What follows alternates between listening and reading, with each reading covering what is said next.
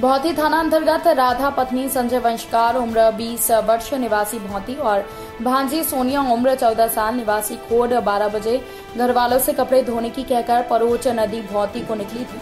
तभी भांजी और मामी नदी में कपड़े धो रहे थे। उसी वक्त भांजी का पैर फिसला और वो नदी में जा गिरी।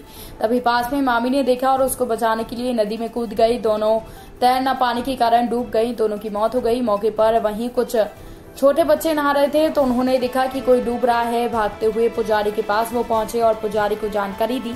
तभी पुजारी दौड़ते हुए वहाँ पहुँचे, लेकिन तब तक दोनों की मौत हो गई थी। पुजारी ने थाने को सूचना दी, जिसके बाद पुलिस ने डेड बॉडी निकालकर मनपुरा स्वास्थ्य केंद्र भेजकर दोनों का पोस्टमार्टम करवाकर परिजनों के सुपुर्द शव कर दिया है।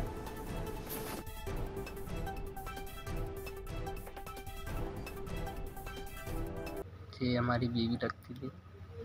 और एक भांजी थी, कपड़े धोने नहीं दीजिए तो इनको बहुत मना करा घर पे, मैं गाड़ी पे गया था। मुझे पता नहीं, मुझे घर पे आया बाद में। तो मुझे पता पड़ा जब ऐसा हुआ कि नदी में, पानी में, ये पैर नहीं पाती थी, सो ये कपड़ा धो रही थी। एक छूट में भांजी, उनका पैर फिसला तो उनने उनकी साड़ी पकड़ ली तो दोनों एक साथ में चली गई। तो ये घर से कब निकली थी? घर से ये निकली थी वही बारह बजे के टाइम निकली थी घर। दोपहर में?